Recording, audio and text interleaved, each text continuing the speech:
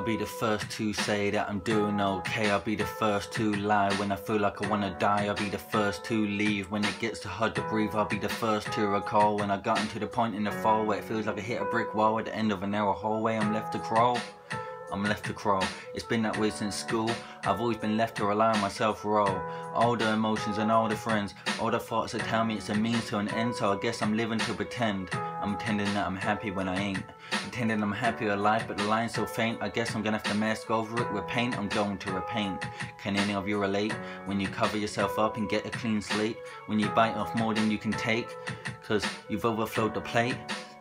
You can't even move, you can't speak, you can't even say that you're okay. Have you ever been in that state? It's okay if you ain't, but if you have, then you know when I say that I'm the first to say that I'm not doing okay. Why? I'm the first to lie when I'm saying that I'm alright. When I'm first to break, when I'm getting them headaches. And when I'm first to admit that I'm, that I'm nothing but a useless piece of shit on this fucked up planet full of hypocrites, I've had it. I've been on this lonely road where I've been cut open so many times I can't even find my soul. I'm broken and still holding on, but I'm going solo as I throw fits from where I can't let go. I'm living with the memories of old, where my brain keeps a hold of the thoughts and throw them in my face whenever it wants. That's why I fold and I hit the road because I can't take it anymore. I've turned cold and now I'm just a mold of somebody that I used to know. That's just how it goes.